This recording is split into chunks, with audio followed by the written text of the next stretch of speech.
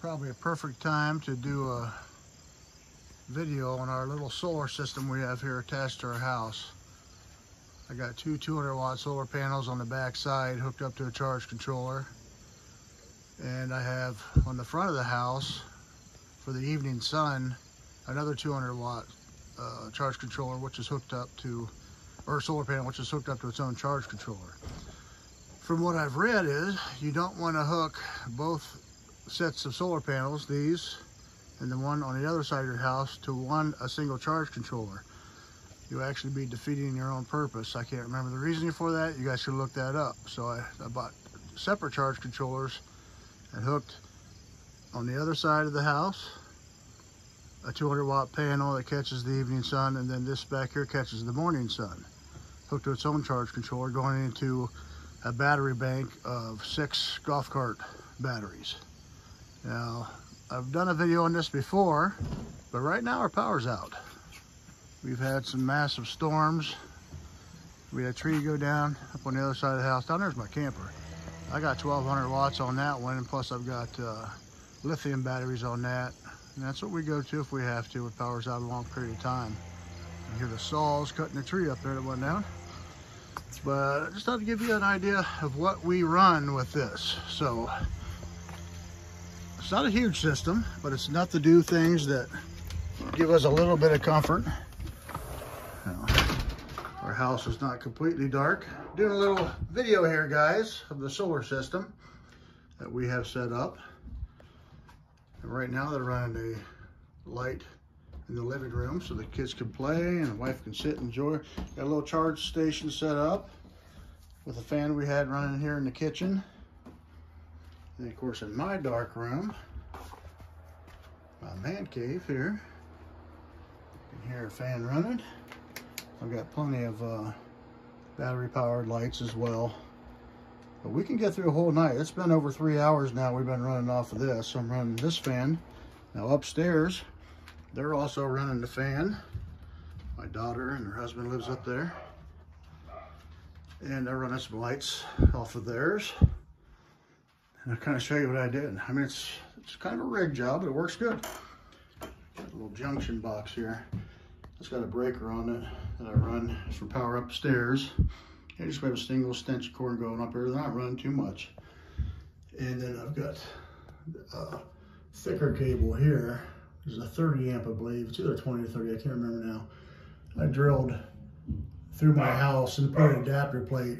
I can actually plug back up and close up.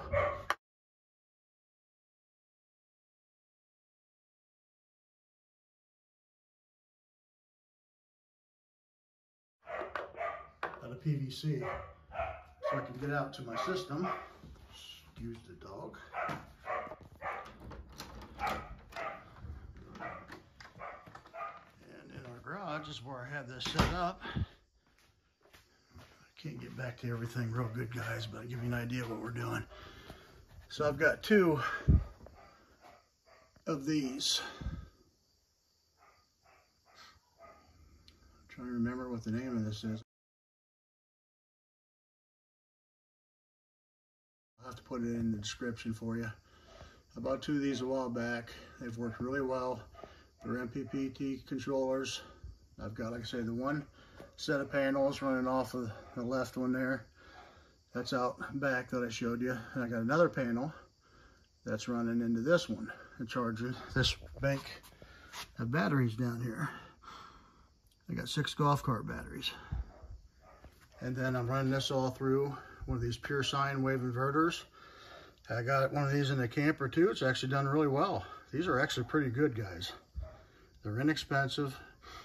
I mean, I've heard a lot of reviews both ways about these. I've had no problems with them. remember, this is a 3,000 watt for what I'm doing, which is plenty. You know, I'm not trying to run the whole house. I'm just running some basic things. And this has been running for three hours. It's reading. But if I go in and actually look, let's see if I can tell here. Yeah, the light's so bright you can't see it. 12 point, what's it saying there? 12.7. So I've been holding at 12.7 now for It was 12.8 for about three hours and it just went down to 12.7. So it's holding pretty good. And we can get through a whole night doing what I'm doing. I'm gonna show you what we got here as far as the other panel. This panel was damaged in shipping.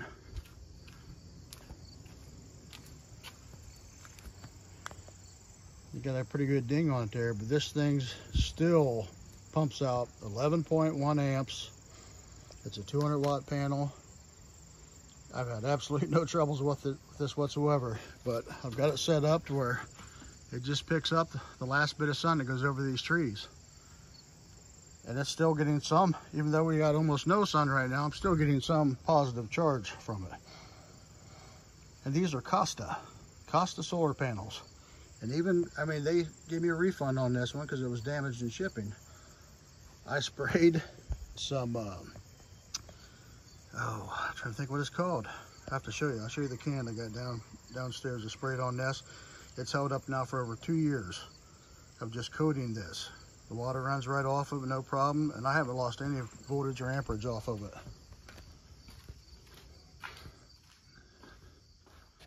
I'll do a little screen record of the uh, app that we use for this.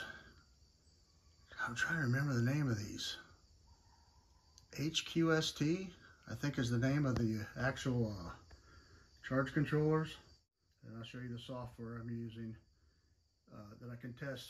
I can see what, what this is putting out while inside the house. I don't actually have to come out here and do it. It goes by Bluetooth. These run off of Bluetooth.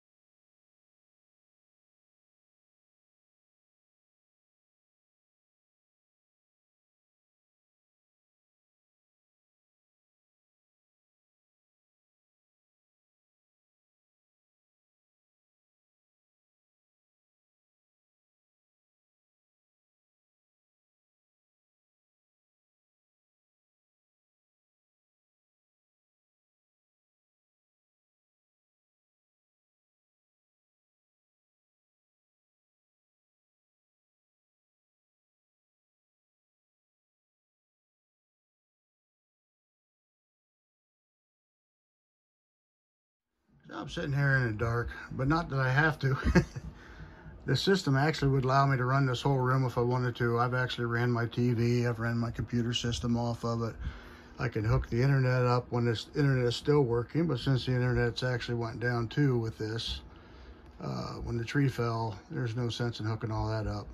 And we knew this was only going to be a three, four hour outage, so we didn't bother hooking everything up. I got a fan running so I can be fairly comfortable. Um, if we knew it was going to be a longer period of time, I would hook my refrigerator. I have two small deep freezes. None of this stuff runs more than two amps off of each one of them. So I, I've ran this little fridge and I've ran uh, two small deep freezers off of this solar setup we have. And it's got us through a whole night. You wake up in the morning, the batteries are pretty weak. What I usually do is just shut down or uh, turn off the uh, the outlet strips that are hooking into the refrigerators and into the deep freezers and give the batteries a chance to recharge for a few hours. And you know these the refrigerator and the freezers will hold they'll hold plenty cold for that amount of time. If it's going to be a two day, three day, a week event, you know, we still have a way of uh, you know, being fairly comfortable and not losing our food. The main reason why I set this what this this little setup up was to keep from losing our food.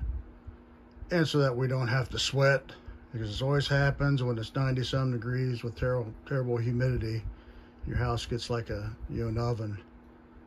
Uh, just so we can stay in the house, I set this up. I have the camper set up as well, so I can use it, you know, if we, as a backup if we decide to go camping or or take it somewhere else, or just go stay in it for a while because I've got more power in it. I actually can run my uh, air conditioning off of it for a short period of time as well, uh, off of one of those uh, inverters that I showed you out there in the garage. I wish I would have had a little bigger one because it gets pretty hot. I'd like to have a little better setup, a little bigger setup as far as the inverter goes. But I've been running these 3,000 watt, uh, waters. But just letting you know, this is a follow-up. I've done a video on this setup once before. This is a real-time video. We're going on two, uh, three and a half hours now, power outage. And we're still running fans and still doing things we need to do. Like I say, we could run coffee pot, microwave, things like that if we need to, just not for long periods of time because it'll suck the juice down pretty fast if you run them big things. But if you're running just basic little things and fans, I mean, I can run these all night long off this Excitement of the power being back on. Yeah! After four hours. Yeah! it's finally on. We finally have it. But I would say having the uh, solar set up for when the power does go out, we can run things we need worked out pretty good for us. Now I just gotta go clean everything back up, all my cables. See you later.